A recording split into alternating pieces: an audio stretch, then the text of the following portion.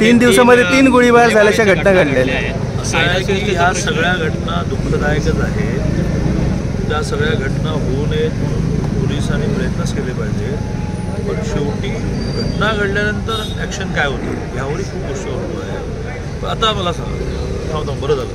संदीपलाही माहिती असेल. काल रात्री माझा मोठा ॲक्सिडेंट झाला. तुम्हाला मला माहिती आहे अत्यंत दारूने तर झालेलं आहे. दोन पोरं आणि तीन मुली. मला दुःख झालं ते मुली पळून गेल्या त्या.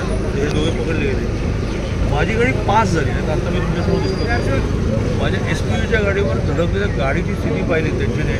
मला ऑपरेशन झालं कसे वाचले. माझी गाडी पास झाली. आता ह्याला काय करणार गृहमंत्री?